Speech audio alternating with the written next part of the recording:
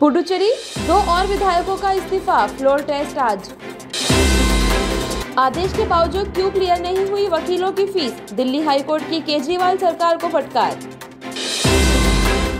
Uttarakhand glacier बच। धौली गंगा ऋषि गंगा में बढ़ रहा जल स्तर, चमोली ज़िले में नए खतरे की आशंका। सरकार ने कॉलेजियम की सिफारिश के छह महीने बाद हाईकोर्ट के लिए छह जजों के नाम की मंजूरी दी। बीते हफ़्ते देश भर में 31 प्रतिशत बढ़े कोरोना केस। नवंबर के बाद पहली बार इतनी तेज़ी से फैला संक्रमण।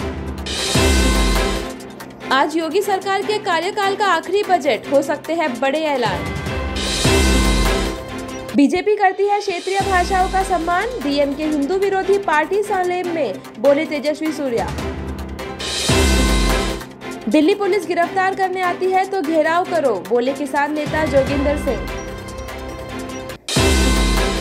आज से भारत आने अंतर्राष्ट्रीय यात्रियों के लिए फॉलो करने होंगे नए नियम। गाइडलाइन के मुताबिक सभी यात्रियों को आरटीपीसीआर टेस्ट रिपोर्ट का डिक्लेरेशन भी देना ज़रूरी है। ईस्टर्न लद्दाख में पूरा हुआ डिसएंगेजमेंट का काम। एक इंच ज़मीन भी किसी को नहीं लेने देंगे, राजनाथ सिंह। असम, बंगाल के दौरे पर आज जाएँगे पीएम मोदी। तेल गैस से जुड़े प्रोजेक्ट्स देश को करेंगे समर्पित। गोवा में जारी हो सकती है नई एसओपी सीएम प्रमोद सावंत से मिलेंगे स्वास्थ्य मंत्री विश्वजीत राणे।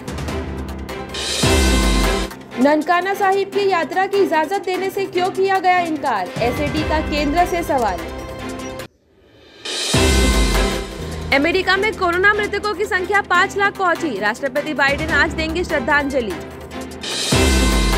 फेसबुक लाइव करने के चक्कर में नदी में नाव पलटी। दो युवकों की डूबने से मौत, उत्तर प्रदेश। चरखे के इस्तेमाल से कॉरपोरेट को भगाएँगे, जल्द करेंगे गुजरात दौरा, राकेश टिकेत। यूपी में कक्षा एक से पाँच के छात्रों के लिए एक मार्च से खुलेंगे स्कूल। आपके पास आया हुआ मैसेज हो सकता है, फर्जी, पुणे में लॉकडाउन नहीं, सिर्फ़ नाइट कर्फ्यू लागू हुआ है। जॉन अब्राहम की फ़िल्म अटैक की टीम पर हुआ पथराव। मुख्यमंत्री उद्धव ठाकरे के बंद को नेताओं का समर्थन, ट्वीट कर कार्यक्रम रद्द करने की दी जानकारी।